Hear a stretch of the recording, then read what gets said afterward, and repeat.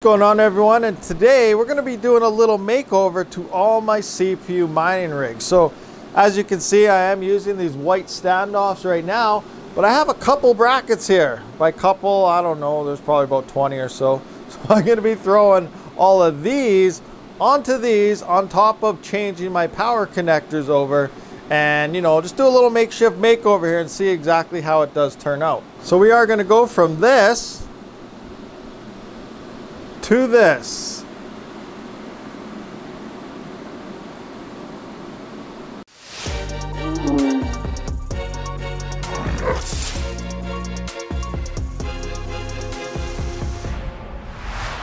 So what's going on everyone and welcome to the Rabid Mining YouTube channel. Be sure to hit that subscribe button, thumbs up, and bell notification to be notified for future videos. Well, to start off here, I do want to be throwing on these style brackets right here. So let's kind of look at what we got going on. So seeing how they're kind of sitting there, it's also going to flip everything 180 so that the cooler is going to be on the bottom. I originally did have found one out on Thingiverse, but it did not really want to work. You would have had to have your motherboard the other way it would have had the cooler on the top, making it more top heavy. So actually, a community member, I believe it's Kia Enigma Adventures, did make these for me. So he put the RM in the bottom corners here. We'll take a look at later on. But instead of having three wide, like I do on this shelf, because that one, rig three, did go into my server. But instead of having them three across this way, I could potentially stack them up this way and then maybe kind of fit three in a line or kind of V it like this or something ultimately, you know, you could double or triple the amount of room that everything is needed. So I could throw pretty much six rigs for the same amount of space as three rigs. So we're gonna see if that happens and if this works according to plan. Well, enjoy the profitability, guys. I'm about to hit the power button and bam, there we go. So this power supply is running these two rigs down here and these three rigs up here. Move on over to the next ones. I gotta start killing the power to these. Bam. Bam. Bam. Bam. So, all my CPUs are now currently offline. So what do I actually have for CPUs? So this whole shelf here is all 3900Xs. Those two down there are 3900Xs. And these two up here are 3950X Ryzen CPUs. So I do have this nice uh, kit here that is loaded up full of screws, which has pretty much any screw you do need when it comes to any type of PC builds, mining builds, whatever. So you are gonna need your standoff screws. So I hopefully I do have enough in here to utilize all my rigs for those little brackets, but I guess we'll find out as we go along. So I have one mostly done. I still gotta change some wiring, but I kind of show you what I got going on here. So as you can see with this one, it's using an M2 drive, so the SSD holder is not needed. But here, these are the brackets right here. Then if you move it over, you can see that the SSD does screw right into the side. So it has a little mount there for your SSD and everything's going pretty much like this. So all the room this thing really takes is, you know, this line here. So essentially you can keep putting them back to back and save up a lot more area. So I also run these off 300 watt Pico adapters and that gives me the ability to utilize this 1200 watt server power supply for multiple CPU mineable rigs. Now I am using these barrel plugs right here. These are five millimeter, if I can get a focus, five millimeter to 2.5 millimeter. Now a lot of people order 2.1 millimeter and this melts very fast. So I did have one rig that started to melt right at the end here over the course of a few months. But uh, again, I'm going to be changing these out to these bad boys right here because I do plan on actually moving these up from 3.6 up to 3.8 gigahertz in terms of uh, overclock settings. So these are Anderson plugs.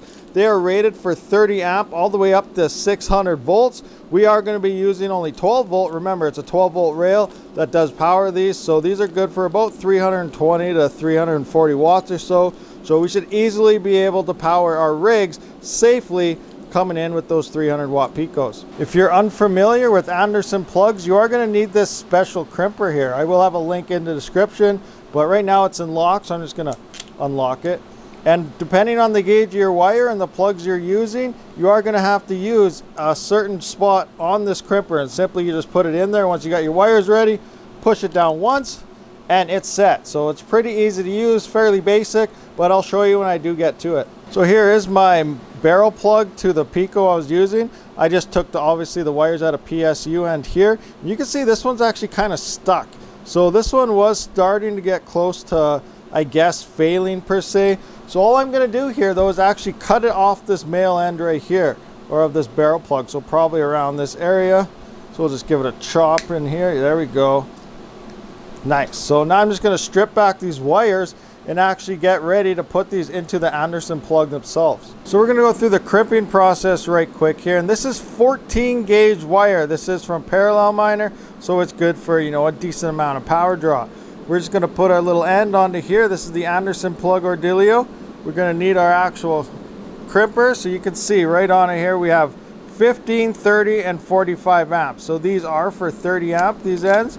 So we're just going to open it up and you can see there's a little slot in there. So we're just going to have to get this inside there. It's going to hold like so.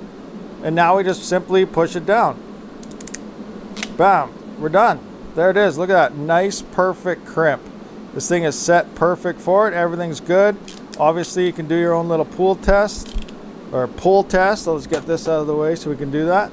Hopefully it doesn't come apart. But yeah, you can see that's nice and tight.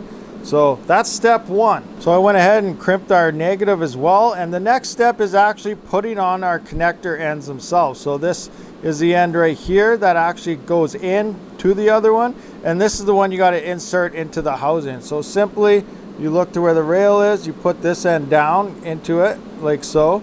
And then you just push it in until you hear a nice click. So we're just gonna kind of wiggle it around till we find it. There we go. And there, clicked in. We're good. So this is now locked into place. The tip's there. And we're all good. These ones are ready. So I do have both of them on. We got our positive and our negative. Make sure you, when you do the other end, have your positive and negative together to match so you know you put your red into red and your black into black. Don't just start throwing things together or things may get mixed up and you could run into some issues, potential fires. Okay, so this is what I do have so far. And this whole bottom shelf now no longer has any more rigs. Looks like I could fit six up here. I'm not sure if I'm gonna put that one right here yet or not, but for the most part, I think I'm just gonna go up to here for now, and then I'll figure out what to do with those 3950Xs and those two rigs right there some other time. But I did run into one issue. I went to boot all these up and you can see I'm missing a rig in the back here and it happened to be kind of a pain to get at. But rig four, which was that one, so we have rig one, two, three. Actually, rig three is my server one, so I gotta skip that number and renumber stuff. But so we got one, two, four. There's rig five. He's hiding in the back, you know, keeping his cool and stuff. And then we got rig six here. So rig four which was there. I accidentally hit the clear CMOS button. Uh, at least that's what I'm hoping happened. so I got to take this over, go to the test bench, reset the BIOS and everything up, which I'll show you how to do for mine. I'm going to set it to 3.8 at 1 volt, and hopefully that fixes the issue. So that one is missing now, and then I'll get that back in there once I tweak it. Okay, so we booted up here and this is what we got. So pretty much like a fresh install, but it does say devices changed, CPU or memory or CMOS has been cleared. So we know what's going on here. This CMOS was cleared in this case. I knew in one of these rigs I did hit a button, wasn't sure which one, and I was just hoping I didn't hit it long enough. But this is the one, and yes, this CMOS is cleared. So Let's tweak this BIOS to the settings I actually want to use. So here we are in the BIOS, guys. So if, uh, you know, this is something you've never seen before, this is it. I'm sure most of you seen this. If you're running your rigs in HiveOS or something, when it comes to CPU mining, this is where you set all your overclock type of settings. Now, this is stating them at 3.8. Uh, that's essentially where I left it. So I don't know what's going on here. These are seeing the same. Maybe it just got rid of my actual boot settings. So I'm just going to try to find that here. So we're going to go to advanced here in system, look for power management setup. And it looks like restart after AC power loss is power off. So yeah, we definitely need this on. So that was not saved. So let's just see what else we got here. Uh, let's go back, back. OC settings. So we're in our overclock settings here. We're on all core. This is set at auto CPU configurations. Okay, so maybe it's not set. So let's just apply an all core to this operation. Do we want to go per? Uh, we don't have to. We're just doing all core so we can just do our ratio. So I guess it's just default. What the? Okay, so we're at 3.8 now. Uh, everything's 3800, so 3.8 gigahertz.